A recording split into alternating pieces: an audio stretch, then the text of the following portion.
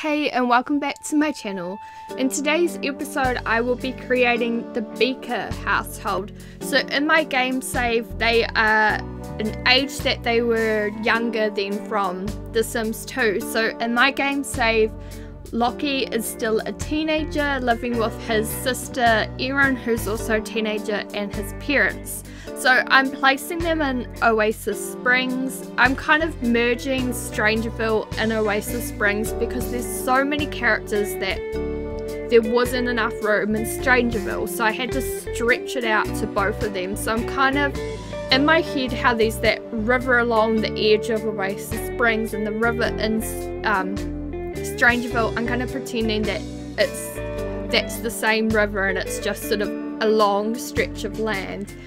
So I am placing them in Oasis Springs because it's kind of like they're still living with their parents. They're not overly creepy, or Loki's not overly creepy yet. So I still sort of like, I wanted to set that sort of stage. So I actually did create them twice and I forgot to save and I was so upset because I definitely preferred the first version a lot more than this one which sucks. I felt that they looked a lot more similar but I tried to still sort of give them the same look that I did the first time. So I'm now creating their dad. Um, I don't really know a lot about the parents as they were dead for The Sims 2, so I went on Sims fandom and sort of tried to match their personalities of what I thought that they would be like. Um, but yeah, the parents I don't think really matter too much to be honest, and I've kind of made it, I've set Loki, he's going to be he's still a teen, but he's a lot more into his teenhood than Erin is. So Erin, um, I tried to dress her quite young looking. I'm kind of thinking maybe she just um, became a teenager. So I tried to dress her as youthful as I could get her.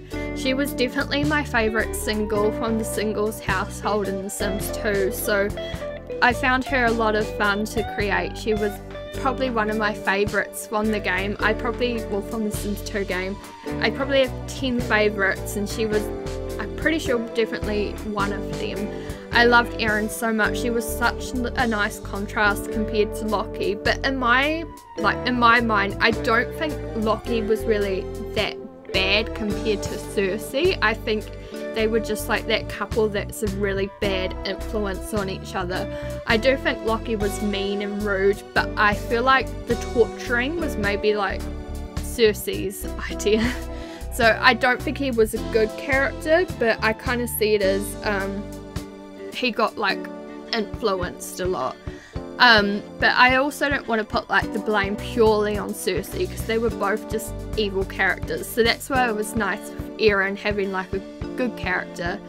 And for the mum, I also looked up on because they have grey hair in their little um, icons. So I looked up on Sims Wiki on how they should have been, and the mum had brown hair, the dad had blonde. So hopefully you enjoy it, and if you do, please subscribe to my channel, and I will hopefully see you next time. Bye.